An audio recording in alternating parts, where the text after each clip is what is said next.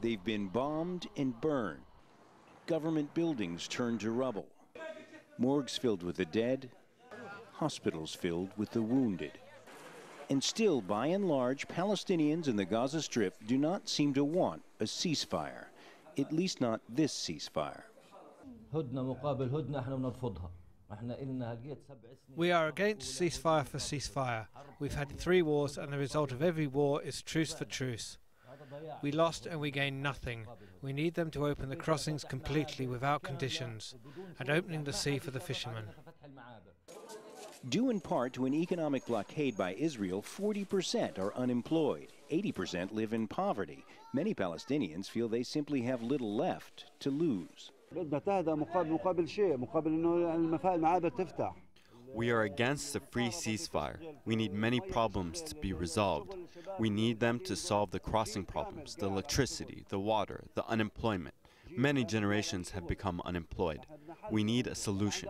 I have four unemployed sons. Here at the Ash-Shati refugee camp, most people are jobless. Many have done without water for as long as two weeks. They have eight hours of power a day. And what they don't want from a ceasefire agreement is one that gives them nothing but 200 fellow Palestinians lost. Few here suffer from the illusion that an agreement would liberate them from the Israeli occupation, but most do aspire to end the seven year Israeli blockade known as the Siege of the Gaza Strip. We have real catastrophic economic, social, health, environment situation. The ceasefire is not enough.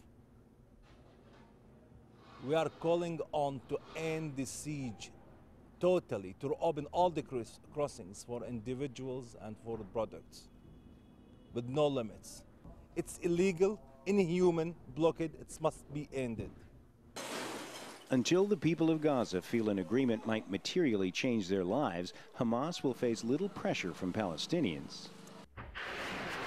And the rockets from Gaza will continue. John Hendren, Al Jazeera, Gaza.